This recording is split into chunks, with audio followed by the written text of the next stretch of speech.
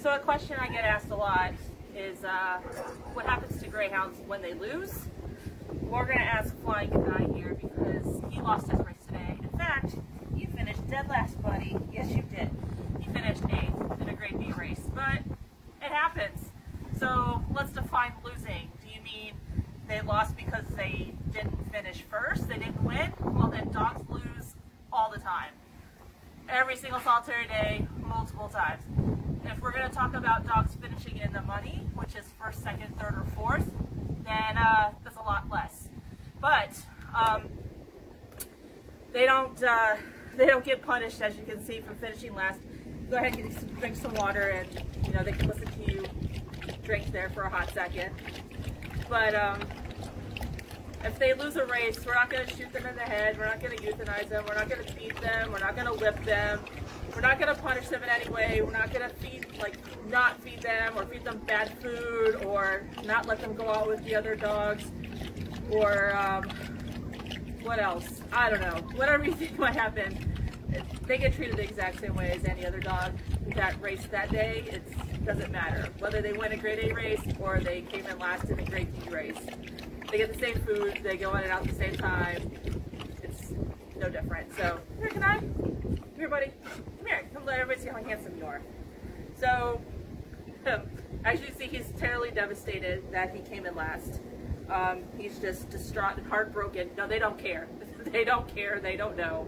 So how it works is that there's actually a grading system, and I don't know why everyone thinks this is such a, a big a big secret, but it's literally printed in every racing program uh, at every track. So I will go ahead and post a copy of ours and on, and on how ours works.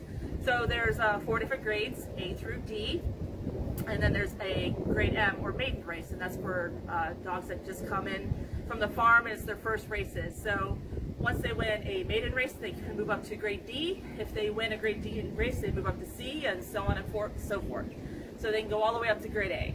So if they lose four races in a grade, then they drop down. So if they move it up all the way to B and they lose four races, they drop down to C. If they win their next C race, they go right back up to B again. So most dogs will fluctuate, you know, up and down between two or three grades. Some dogs will never reach grade A. So it's just every dog has a completely different career and if they grade out here or they're not doing so well here, the owner may choose to transfer them to another track where they think that they're more competitive and have a better chance of winning. Or if they're doing really well here, they'll transfer them to a more competitive track where they can make more money, um, like over at Southland.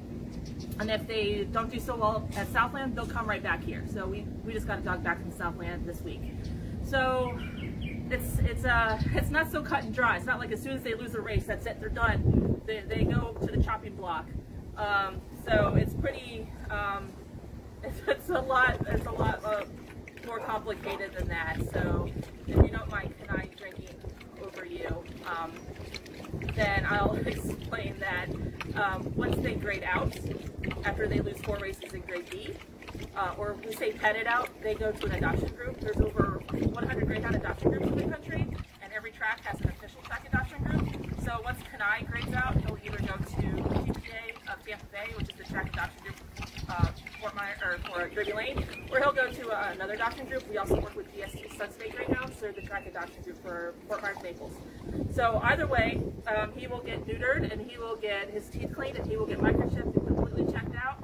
He will get fostered and he will get adopted. So that's that's how it works. We're not dumping them in forests or using them as shark bait or any other things that you might have heard uh, they just go to adoption. It's, it's not that exciting. It's not as uh, dramatic as some people like to make it out to be. There's no on-site crematoriums here or some mass grave where we just dump their bodies here on site. They just go to adoption. It's way easier to call an adoption group and just say, hey, come pick up this dog. He's been, he's been retired. That's how it works.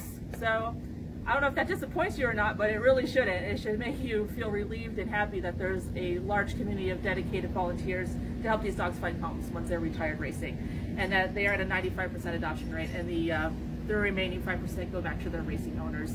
So there's a lot of hobby owners out there that only have a few dogs and then they keep them when they retire because it's just a hobby for them. It's not really a, a mainstream of income. So that's it.